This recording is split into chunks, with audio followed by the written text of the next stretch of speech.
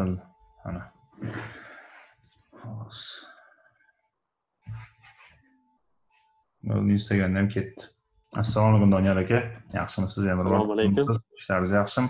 Yaxshi, rahmat. Yaxshimisizlar? betlab qo'ydi. Vaqtingiz anu teskari bo'lsa ham bizaga. Yo, yo, bemalol o'zi ertalab uyg'onadigan payti, buyog'i saharliga turib keyin. Xudo xohlasa avvalambor vaqt ajratganingizga kattakon rahmat.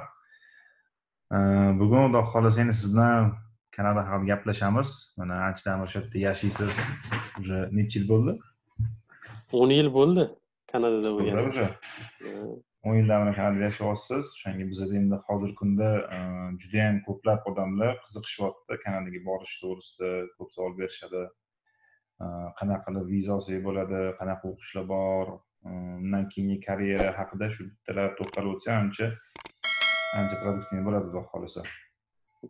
To'g'ri. u- Kanadada o'qishga qiziqadiganlar ko'p O'zbekistonda, lekin ma'lumot kam ular uchun. Ha, Haligi qayerdan e, qa- qaysi o'qish tanlash kerak, nima yo'nalish. O'shanga o'ylaymanki, foydali bo'ladi deb o'ylayman xohlasa. suhbatimiz. Hop, shu birinchi endi boshlasa savollar. Qanaqa o'qishlar bor? Kontrakt necha atrofida? Grantlar bormi? Kanadada o'zi Kanadaga o'qish topshirish e, grantlar masalasida bitta e, o'tgan yili avgustda e, Kanada davlati yangi grant e'lon qildi. Bu grant shu 15 ta davlat fuqarolari uchun, uni uning ichida O'zbekiston ham bor. Bunda ikki yillik o'qish uchun to'lab berishadi. Ikki yilgacha bo'lgan o'qish uchun, bir yillik, ikki yillik bu magistratura yo bo'lmasa kollejda o'qishga kirish, e, o'qish. E, Unda e, oltmish ming dollargacha yiliga Kanada davlati to'lab beradi. Bu расходlar o'qishga o'qish puli, viza puli,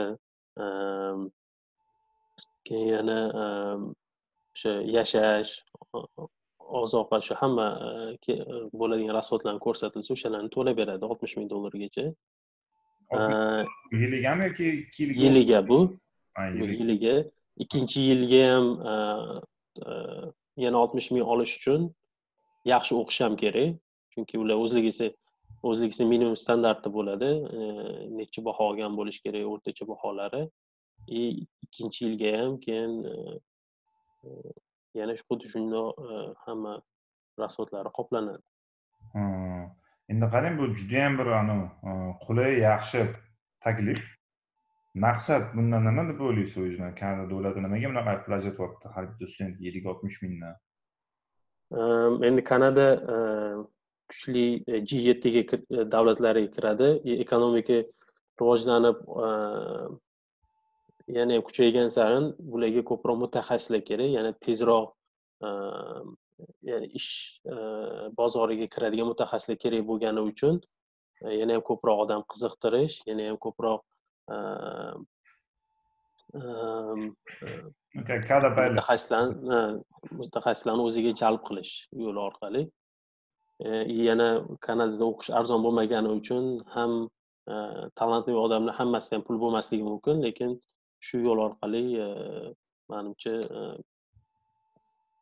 anaqani e, haligi ishchilarga bo'lgan talabni qondir- qondirish yo'li bo'lsa kerak Hmm. Xuddi ham Italiyada ham xuddi shunaqa grantlarimiz borda bizda shu stipendiya ham berishadi даже. Xo'p, agar birinchi yili, ikkinchi yili o'qish to'lab bersa, uchinchi yili bola уже o'zini o'zi eplashi kerak to'g'rimi? To'liq holatda.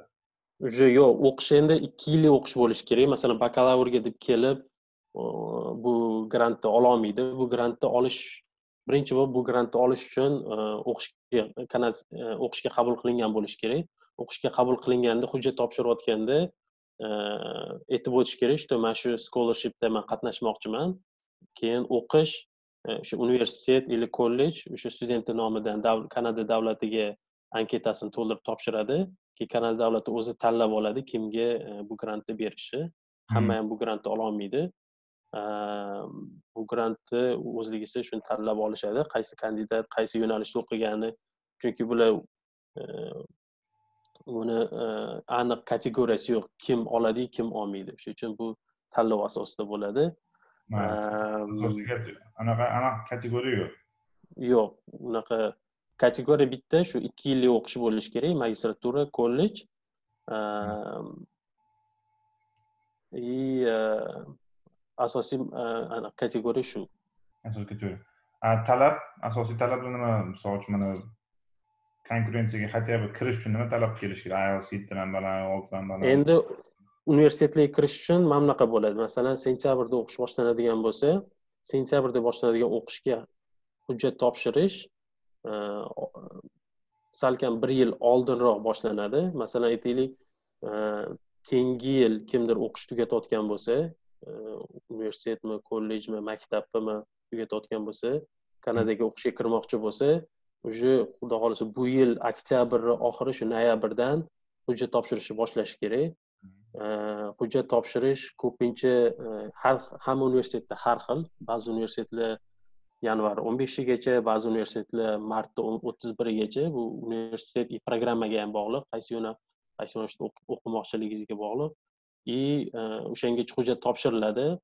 Hamma hujjatlar ya'ni diplom baholar agar diplom bo'lmasa shu hozir o'qiyotgan baholari keyin ielts rezultati yana o'sha qaysi programma qaysi yo'nalishga kirayotganligiga qarab ko'pincha ielts minimum olti yarim so'rashadi. И hammasi overall oltidan kam bo'lmasligi kerak.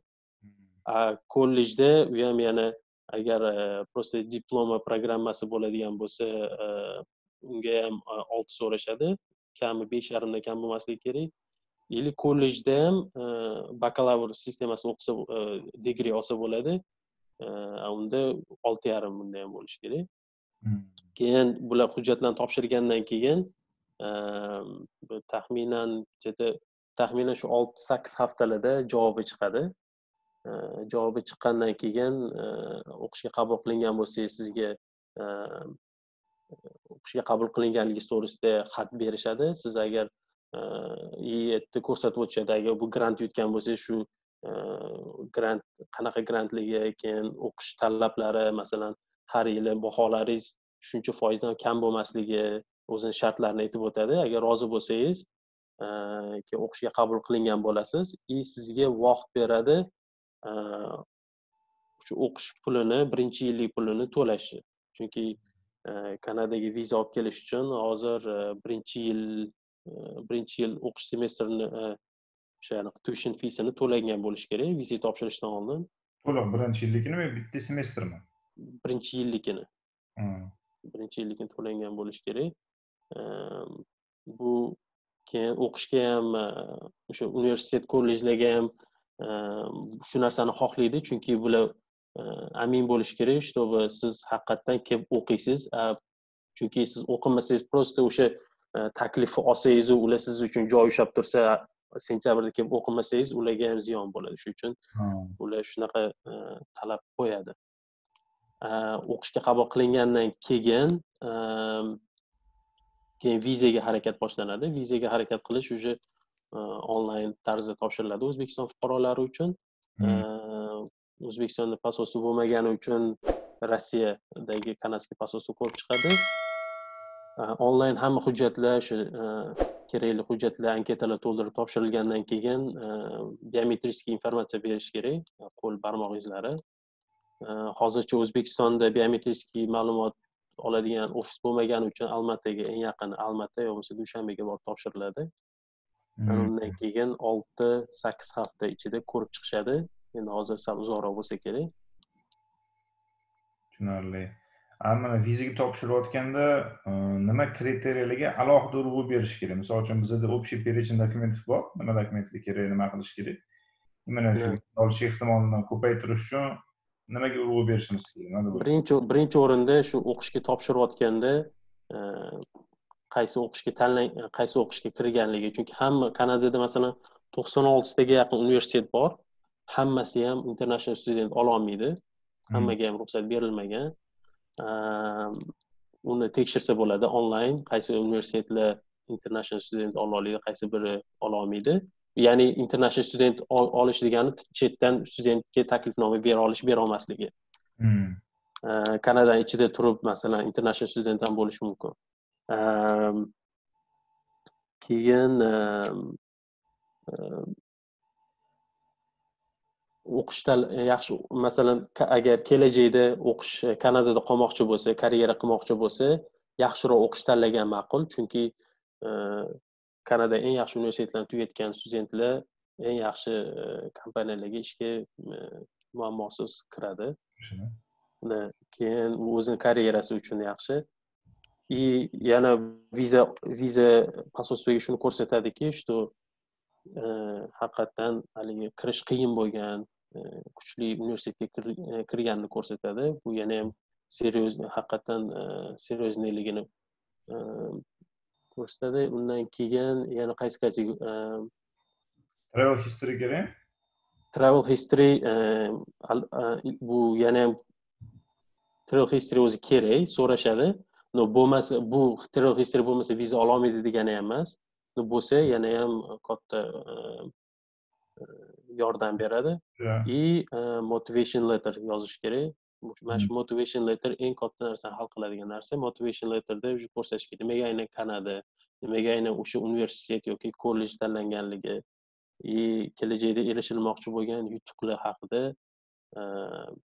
shuni ko'rsatib e, ko'rsatib berish kerak. O'shanda viza ofitseri ko'rib chiqib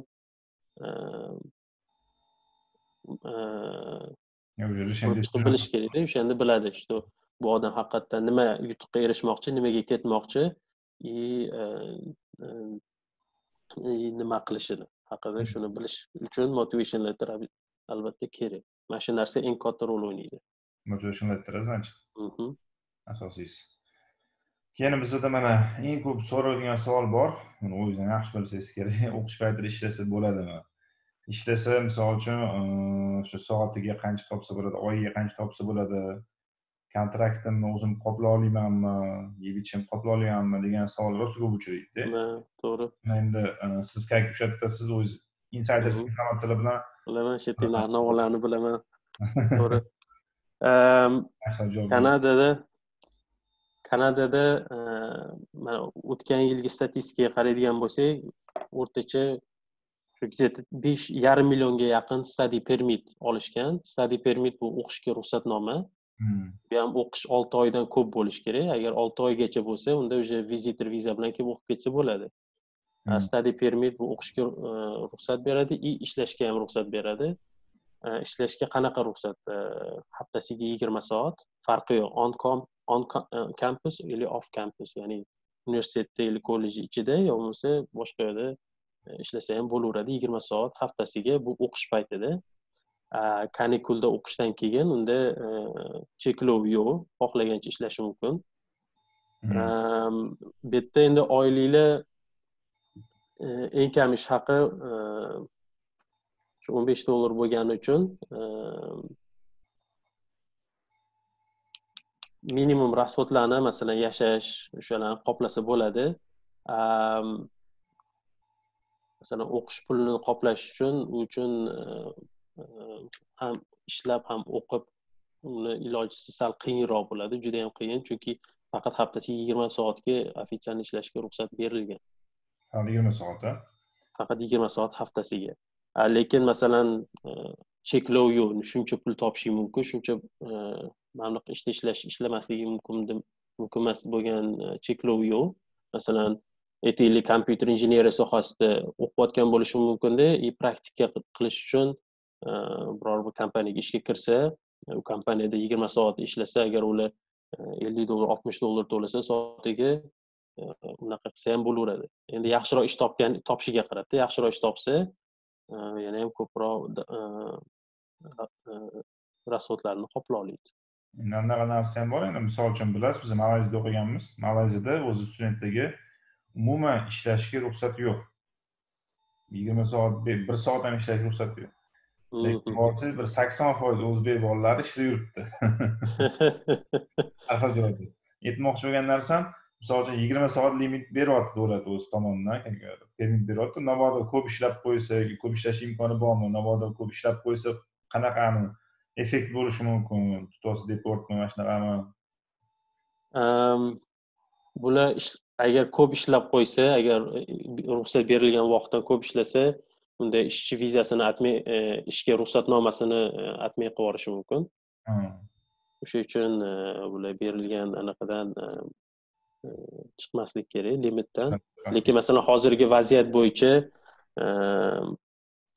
yangi qaror chiqdi. Mana bu covid mana bu virus bo'lib turgani uchun mana bu limitni olib tashladi ba'zi bir studentlar ish bo'lsa ish topsa e, bez limitni ishlashi mumkin ham o'qishini qilib chunki ba'zi bir studentlar yozda ham kurs olishadi. Yozda ham kurs olgani uchun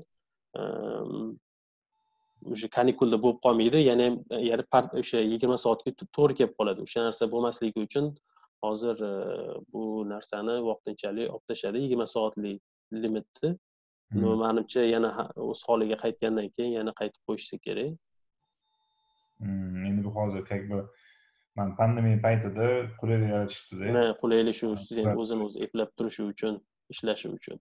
Hmm. endi hozir yaqinda man ikki kun bo'ldi yangi strategiyani e'lon qilishdi shu shu bosqichda sekin sekin yumshatishadi hamma o'z ishiga qaytadi o'qishiga qaytishi.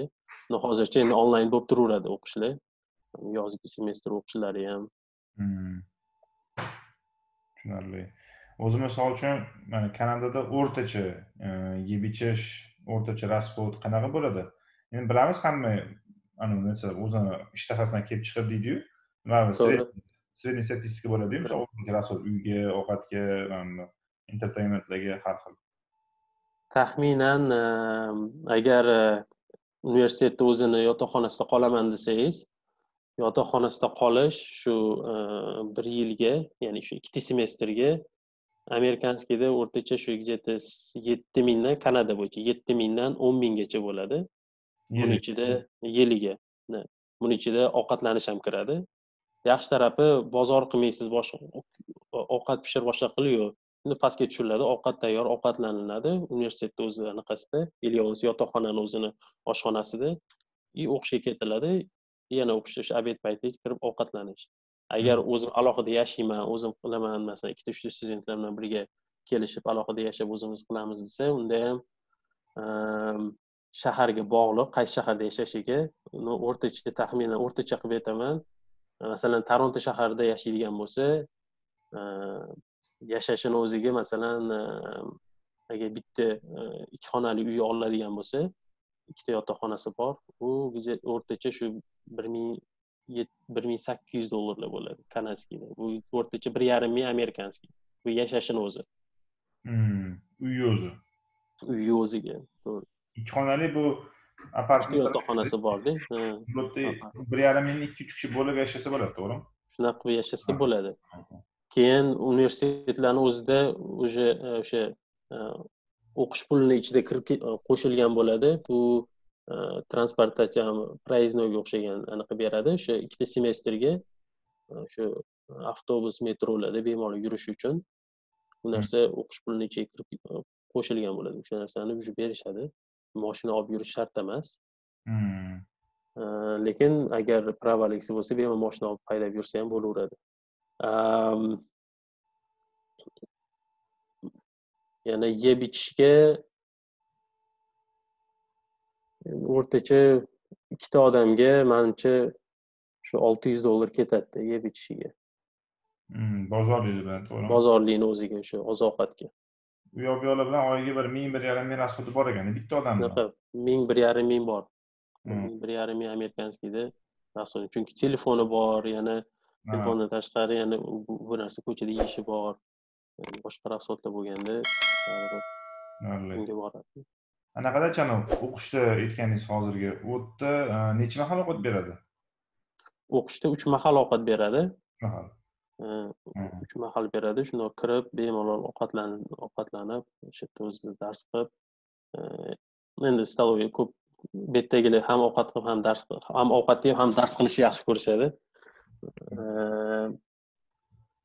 yaxshi qulayligi shu haligi pishirib kuydirib qilish yo'q bozor qilish yo'q o'sha o'zida hammasi tayyor keyin uni yana bitta tarafi masalan kanadaga o'qishga kirgandan keyin o'sha rezidensiyaga ham pulini to'lab qo'yilsa bir yilga yotoqxonani vizaga topshirishdan oldin bu yana ham ko'rsatadi серьезный shu haqiqatdan o'qishga kelmoqchiligingizni haqiqatdan o'qib shu yotoqxonasida yashamoqchiligingiz chunki hali viza olmasdan turib bu yerda haligi ijaraga uy topish qiyinroq qiyinroq emas haligi e, mantiqsizroq bo'ladida chunki hali viza olmasdan turib u hech kim rozi bo'lmaydi haqiqatdan kelib deb u odam uyini ham ushlab o'tirolmaydi e, arendaga berish uchun shuning uchun e, yotoqxona eng yaxshi variant bo'ladi. Hmm. hozir mana vizaga qaytganimiz yaxshi bo'ldi. Savol tushib qoldi telegramdan motivation letterga letter yozayotganda ko'proq qaysi aspektlarga urg'u berish kerak? Misol uchun nimani ko'proq gapirish kerak nimani ko'proq ko'rsatib berish kerak motivation letterda ehm, agar ehm, bakalavrga o'qishga или просто e, kollejga o'qishga ketish bo'lsa e, topshirilgan bo'lsa unda e, shu erishilmoqchi bo'lgan yutuqlari va nimaga aynan kanadani tanlaganligi haqidagisiga ko'proq urg'u berish kerak. Agar magistratura yo bo'lmasa phd bo'lsa unda уже qanaqa izlanishda olib borgani qanaqa izlanishda olib bormoqchiligi nima nima ishlar qilmoqchiligi haqida ko'proq urg'u berish kerak. Nimaga aynan kanada ham tanlaganini ham aytib o'tish kerak. Hmm. shu shu narsaga bog'liq. Tushunarli. O'qish jarayonlari qanaqa bo'ladi? Misol uchun bitta semestr o'qishdan kanikul bo'ladimi yilda nechta semestr? Necha kunlab bo'ladi? o'qish shu sentyabr boshida boshlansa dekabrni birinchi haftasida tugaydi orada bir hafta reading week bor bir hafta kanikul bo'ladi. Full time o'qish degani mana ko'pchilik full time part time deydi. Full time degani bu uchta uchtadan ko'p fan olingan bo'lsa bitta semestrga bu full time hisoblanadi. Uchta va undan kam bo'lsa bunda уже part time hisoblanadi. Hmm. bitta soati yo'q shuncha soat o'qidi shuncha soat o'qimadi emas nechta fan olganiga qarab. И hmm. e, o'qishni o'zingiz bemalol tanlab olasiz qaysi haftani qaysi kuni o'qimoqchisiz. Endi erta beriladi расписанияsi e, o'sha jadvalida qaysi kunlarida o'qish bor qaysi kunlarda o'zingiz e, o'sha расписаниеңizga qarab tanlab olasizda o'rtacha shu haftasiga to'rt kunga to'g'ri keladida.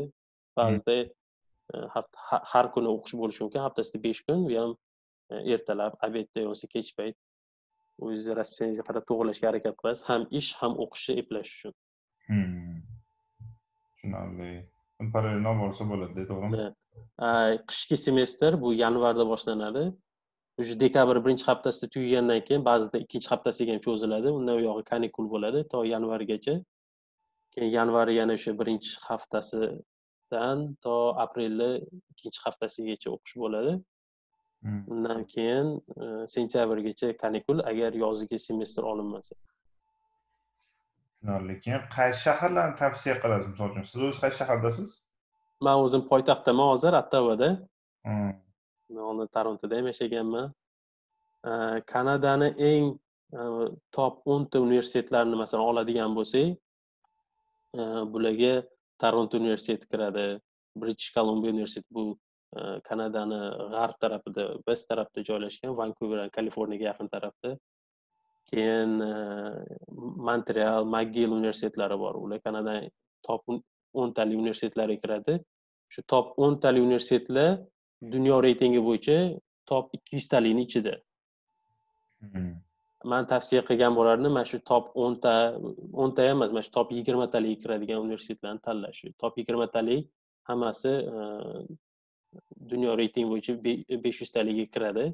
Bu nimaga? Chunki o'zbekistonda agar qaytib kelib o'zbekistonda karyera qilaman desa bu diplom e, inobatga olinishi uchun o'zbekistonda top besh yuztaligiga kiradi. Borgandan keyin qaytishmasa kerak manimcha bo'ldi возможностьlar u yerda berilayotgan imkoniyatlar salary bormi boshqa bormi ishlashga bo'lgan sharoitlar e'tibor ancha boshqachada chunki o'zi kanada davlati shuni ham xohlaydida masalan bu yoqqa kelib o'qib mutaxassis bo'lib yetishib chiqqandan keyin e, u odamni bemalol immigratsiyaga oladi masalan ishlashga ruxsat beradi. Hmm. ishlagandan keyin уже e, doimiy yashashga ruxsatnoma va undan keyin u yog'i fuqarolikka.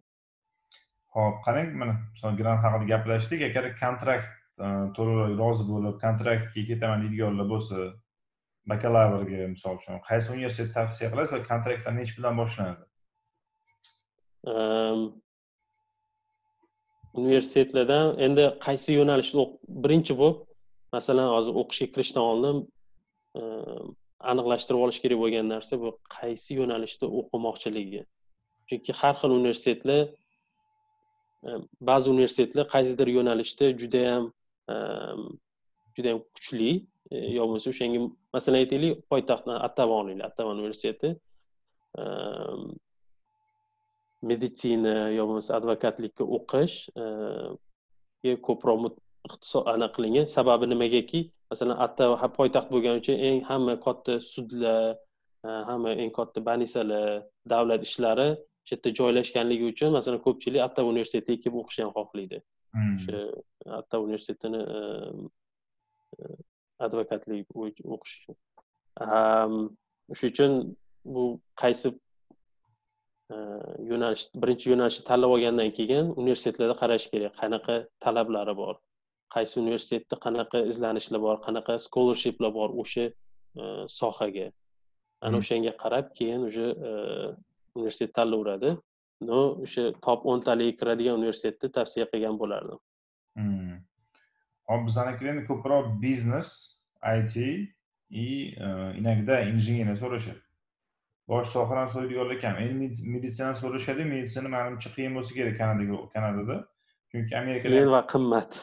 Amerikada biz surishtirganimizda bakalavriyaga kirishdan oldin meditsinskiy shkolani tugatish kerak ekan u to'rt yil bo'lar ekan undan keyin bakalavr o'qigan olti yil undan keyin ikki yil uch yil o'n besh yil o'qish kerak ekanda endi bizni to'g'risini aytsam meditsina so'raydiganlarga iloji boricha qilmaymiz deymiz chunki baribir bormaydi ham to'lovi ham o'n besh yil o'tdi ham ancha shunaqasi bor. Shuning uchun biznes it injiniya sohalari bir o'rtacha average kontrakt narxlari примерно qancha bo'ladi o'n o'n besh yigirmani atrofida kontrakt narxlari o'rtachasini aytaman. Bu shu amerikanskiyda где то yigirma mingdan yigirma besh minggacha boradi kontrakt narxlari. Bu bakalavrga o'qish. Kollejda o'qish bu amerikanskiyda bu o'rtacha ehm, o'n uch mingdan o'n sakkiz minggacha boradi. Hmm. yiliga bir yilga. Да xuddi shu tushunchini o'zida to'g'ri. Hmm. tushunarli. Narxlari shunaqa. Ehm, masters magistratura phd endi u programmaga bog'liq bularni ham programmaga bog'liqu lekin o'rtacha narxlari shunaqa. Hozirgi kunda qaysi именно sohada kadrlar tanqisligi bo'lyapti qaysi sohani bitirsa ish topish ancha oson bo'ladi? Kanadada masalan kollej tugatsa mana kasb kasb hunar kasb yo'nalishi bo'yicha bo'lsa ish judayam ko'p. To'lib yotibdi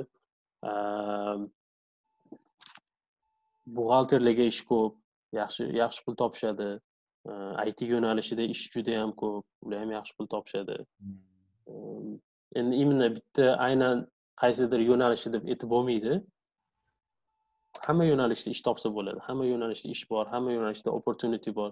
Hamma yo'nalishda mana shu ishga kirgandan keyin bemalol o'sish bo'ladi. Eng tepa yuqori anaqa. Anaqalargacha ko'tarilsa bo'ladida bemalol. U yerda chegara yo'q. Mana bitirgandan keyin o'sha yerda ishlab qolaman. Siz уже full time ishlashga o'tadi to'g'rimi study permit tugagandan keyin masalan o'qishini tugatgandan keyin e, kanada davlatidan e, ishlashga ruxsatnoma so'rasa bo'ladi ishlashga ruxsatnoma beradi. Keyin e, to'liq stavkada ishlab malaka oshirgandan keyin keyin уже doimiy yashashga ruxsatnomaga yana hujjat topshirsa bo'ladi. O'rtacha oylik qanaqa o'sha anaqa rezidensiyaga viza olgan shu ishga permit olgandan keyin? O'rtacha oylik? Да statistikada bo'ladiyu endi buni biznes sohasida deylik. O'rtacha oylik agar mana davlat ishida ishlaydigan bo'lsa manimcha shu qirq ming ellik ming bo'lsa kerak yiliga bu hali nalogini chiqarma nalogini olmagani bu nalog e, nalogini подоходный olib qolgandan keyin hisoblasak o'rtacha shu qirq ming to'g'ri keladi. qirq mingga o'rtacha. Ho'p bu ham savollar berishyapti. Agar e, u yoqda yuridik sohada o'qisa o'zbekistonga o'tadimi? Baribir qonunda har xilku deyishyapti. Manimcha o'tmasa kerak. Bu mani fikrim. Chunki kanadani qonun sistemasi umuman boshqacha. Mani yaqin tanishlarim bor. Yevropalarda qonun o'sha sohalarda o'qib kelishgan amerikalarda o'qiganlar ham mana shu yerda to'g'ri kelmaydi. Chunki hammani qonun sistemasi har xildek to'g'ri kelmaydi. Mana shu bo'lmasa kerak. Bo'lmaydi keyin mana bitta savol tushgan. Dependent viza qilsa bo'ladimi er xotinlar? Deyishyapti. Manimcha qilsa bo'ladi. Bitta tanishim o'zi phdga o'qishga kelib o'zini ayolini ham olib kelgan edi unga ishlashga ruxsatnoma. Endi bu anketa to'ldirilganda ko'rsatiladigan narsa qilinadigan hmm. manimcha qilsa bo'ladi. Qilsa bo'ladi endi buni ozgina research qilish kerak immigration да bu narsa уже haligi immigration konsaltantni maslahatlashish kerak va qanaqa bo'ladi yo bo'lmasa o'sha veb saytda ham yozib qo'ygan hammasini uni ko'rsatsa bo'ladi uni ko'rib chiqsa bo'ladi. O'zbeklar ko'pmi o'zi hozir kanadada? Anaqa bormi o'zinglarni yig'ilib turasizlar choyxonalar bor haligi telegramda anaqamiz bor gruppamiz yozishib turamiz. Nechi kishi примерно kanadada. Men taxminda taxminan bilmayman bu hamma har xil aytadi uch mingta to'rt mingta kanadskiy statistikani bundoq qarasa o'zbek deb endi ular o'zbekistondan shuncha odam bor deb aytmaydi. O'zbek millatiga mansublar uch yarim mingtami to'rt mingta deb ko'rsatilgan. Hali kam ekanda ancha? Ancha kam bu yerda endi viza olish oson emas bu yerda o'zbekiston uchun hali bunaqa ochuv ko'p taniqli davlat ham emas masalan amerika endi ko'pchilik grin karta hisobiga ko'pchilik amerika amerikada amerikani ko'pchilik biladi. Kanada ozgina haligi посольство ham yo'q shuning uchun o'zbeklar kam. Ko'paytiramiz xudo xohlasa xudo xohlasa studentlar ko'paysa buyog'i student kelgandan keyin ota onasini chaqiradi mehmonga aka singillarni chaqiradi shunaqa qilib ko'payadi. Xudo xohlasa. Anaqalar bormi o'zbek kuxnyalar o'zbek kuxnya bor toj degan restoran bor torontoda judayam haligi o'zbekona lag'monlar osh somsa o'zbekcha muzikalar bo'ladi. Ko'p emas endi bitta donayu endi shu torontodada megapolisda chunki hamma ko'p o'zbeklar torontoda bo'lgani uchun bitta ochishgan narxlari qimmat emasmi narxlari yo'q shu hamma el qatori qimmat emas narxni so'raganim sababi dubayda kirdik o'zbek kuxnyasiga bir kun ikki kishi mastoy ichdi bittada borshni bitta mastoy ikkinchisiga mantimi nimadir ovdik salat choy yuz dollar tushirib berishdi. Voy. Dubayda narx navo shunaqa bo'lsa kerak? Dubay uchun ham qimmatda chunki boshqa dubay qanaqadir kirsangiz bu darajada unaqa счет kelmaydida biza o'tirib toshkent mana shuni yeganimizda bir yuz ming singan bo'lamasdi rostdan ham yana mazaliroq bo'ladi toshkent qarang yana bunaqa savol mana o'zi o'zbek lekin bakalavrni boshqa davlatda o'qiyotganlar bo'lsa перевод qilsa перевод qilish osonmi qabul qiladimi o'qish vizaga ta'siri bormi endi mana shu перевод masalasida Э, agar boshqa davlatda o'qiyotgan bo'lsa o'zini universitet o'qiyotgan universitetidan bilishi kerak bularni exchange e, o'sha student almashish programmasi bormi yo'qmi? Agar bo'lsa manimcha problema bo'lmaydi. Bir ikkita odamlarni e, e, taniyman ular masalan koreyada o'qib bir yil yo bo'lmasa olti oy o'qishga kanadaga kelib o'qib yana qaytib ketishadi. Shunaqa qilganlar ham bor. Masalan aytaylik o'zbekistonda o'qiyotganlar bor. Ular aytaylik bu yoqqa kelib o'qimoqchi bo'lsa shu o'qigan fanlari e, exchange qilib bo'lmaydi. Lekin nima qilsa bo'ladi? E, masalan hozirgacha o'qigan fanlarini ko'rsatib mana shu fanlarni olgan mana shu fanlarni o'qiganman deb e, universitetga ko'rsatsa ular inobatga olishi mumkin. И bu olgan fanlarni qaytadan olishi shart bo'lmasligi mumkin. Endi bu universitetga bog'liq. Ular agar tan olsa o'sha olingan fanlarni unda inobatga oladi. O'shanda masalan to'rt yillik programma uch yil bo'lmasa ikki yilga qisqarishi mumkin tushunarli odamlarga bir minut qisqacha e'lon chunki savollar berishyapti bu savollar ko'p уже o'tgan mana to'xtalib o'tdik hop kanada bilan yashash qancha tushishi mumkin kollejga kirish haqida misol uchun biza bir o'n besh yigirma daqiqa oldin gaplashdik o'shaning uchun bu videoni xudo xohlasa kech payt upload qilamiz shu berayotgan savollarga javob olishinglar mumkin mana hozir sardor yo'ldashev qodirovdan tushdi savollar bular hali to'xtaldik o'shanga hozir bitta savolga ikki uch marta qaytmaslik uchun. Mana shu narsani inobatga olib qo'yasiz mabodo savolinglarni o'tkazib yuborsa bilinglarki то что bu savolga javob berilgan. И kech payt уже youtube kanalimizda ko'rishinglar mumkin. O'rtacha narxi kontrakt haqida ham xuddi shunaqa narsa. Bo'ldi. Chunki hozir savollar berishyaptida doniyor aka уже biza bu savol to'xtaldi. Yana bitta narsani qaytarsa manimcha mana bitta savolni o'qib qoldim mana bitta asosiy qo'yiladigan talablar universitet kollejga kirish uchun. Asosiy qo'yiladigan talab birinchi bo'lib shu hujjat topshirilayotganda man ontario provinsiyasini aytib o'taman. Masalan xuddi provinsiya bu xuddi shtatga o'xshagan narsa. Markazlashtirilgan sistemasi bor bularni markazlashtirilgan sistemada bitta shu platformada bitta anketa to'ldiriladi. Bir marta hujjat topshirilganda bir nechta universitet kollejga e, bir nechta universitetga e, hujjat topshirsa bo'ladi. Bir martalik anketa bilan. Yo bo'lmasam alohida har bitta kollejga hujjat topshirib chiqsa bo'ladi. Shunaqa ikki xil yo'nalish borda e, hujjat topshirishi. Topshirayotganda birinchi so'raydigan narsasi shu e, angliskiy ielts javobi. Ielts shu ikki yil eng oxirgi ikki yillikka bo'lishi kerak. U ham qaysi programmaga bog'liq nechi bo'lishi asosan shu minimumi o'zi ko'pincha olti yarim overall oltidan kam bo'lmasligi но bu degani o'qishga kiradi degani emas chunki yerda konkurensiya baland bo'lsa boshqalar yetti yetti yarim bo'lsa bu degani ularni shansi ko'proq kirish o'qishga qabul qilinishi keyingi so'raydigan narsasi diplomi yo bo'lmasam hozirgi bahosi masalan aytaylik kimdirlar mayda tugatyaptida keyingi yil mayda tugatadi yo iyunda tugatadi. Hujjat topshirish masalan noyabr dekabrda уже boshlangan.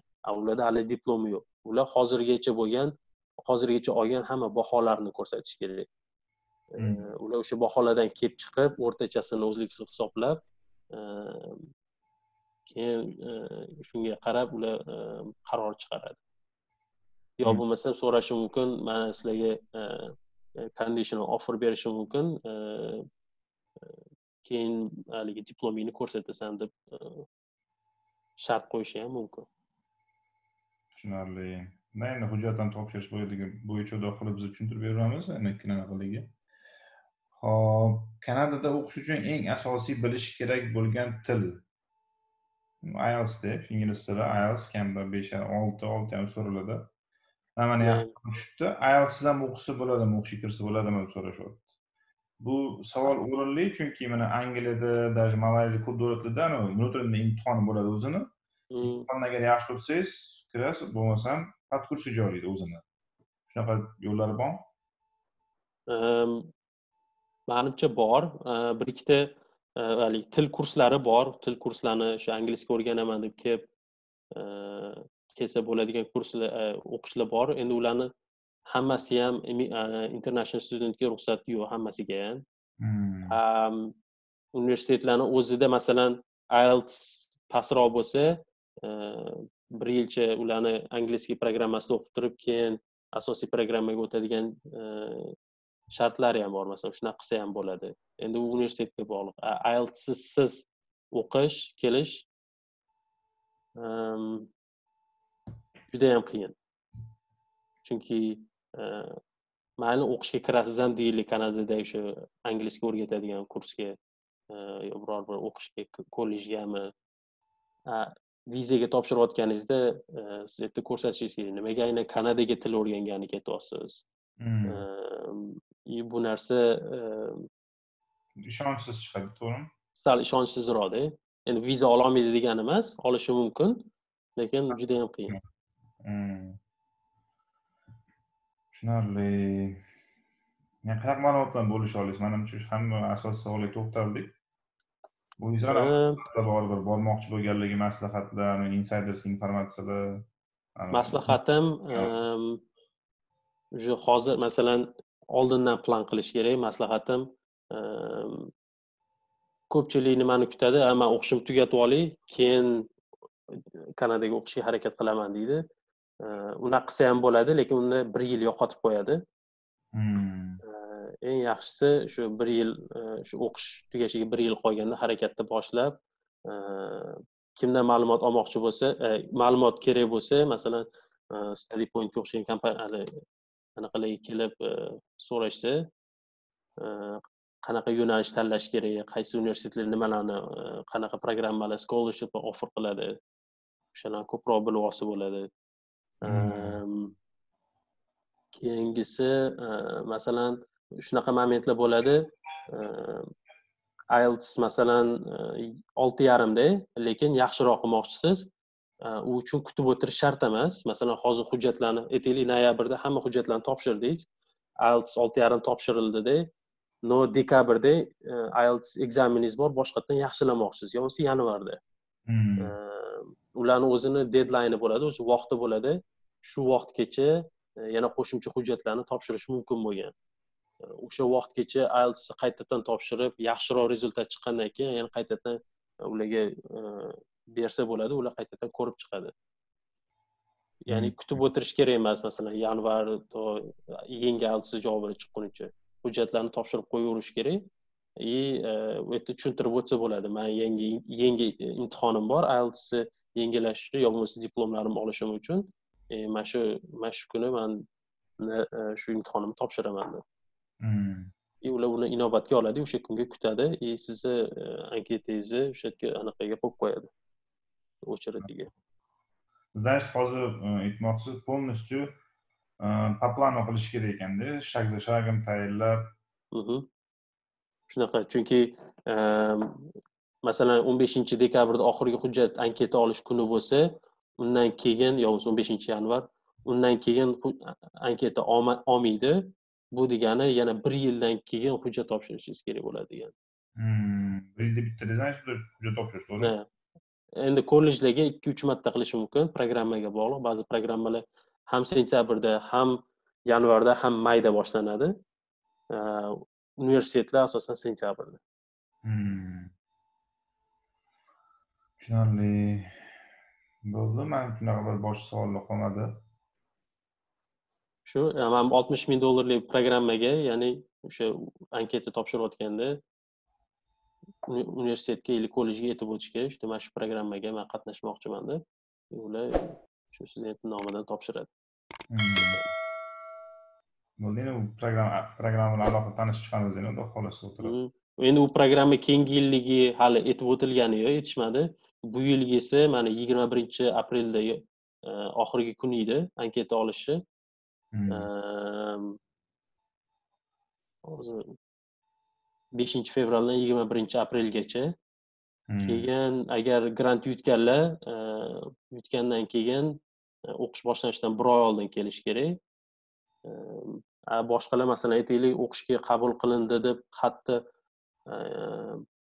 martda oldi deylik. Martda сразу masalan сразу martmi yo bo'lmasa aprelda e, vizaga topshirib vizasini olsa masalan ikki uch oy oldin ham kelsa bo'laveradi. To o'sha yerga atmosferik shaharga moslashib ish topib anaqa qilguncha demak ertaroq kelsa bo'laveradi. Mana bu grant yutganlar bir oy oldin ertaroq kela oladi faqat. Hmm. nimaga nima sabab oy oldin sababini aytib o'tishmagan manimcha уже studentni hamma rasxodlari hamma narsasi qoplangan. Bir oy yetarli vaqt bu odamni o'sha yerda o'rganishi uchun o'sha o'sha ko'nikishi uchun. To'g'ri strategiyani olib qarasam tushunarli. Ham bo'ladi. Xudo xohlasa sekin aka savollar bo'lsa aytasizlar mayli qadrli bizni shu поддержка berib suhbat qilganingizga juda yam ko'plab ma'lumotlarga ega bo'ldim. O'zim ham shaxsan bu yerda odamlar ham kuzatganlar xudo xohlasa ancha xursand bo'lishdi manimcha youtubega joylaganimizdan keyin shu bo'lganlar yana ko'rib chiqib facebook instagramni aylantiramiz ozgina xudo xohlasa. Bo'ldi bo'ldi. Rahmat. Fe'liga rivoj mayli rahmat virusli paytda o'zingiz ehtiyot qiling oilangizga sog' bo'linglar ehtiyot bo'linglar sizlar ham bizga xizmatlar bo'lsa bemalol aloqada qolasiz bo'ldi rahmat rahmat charchamang Sog'.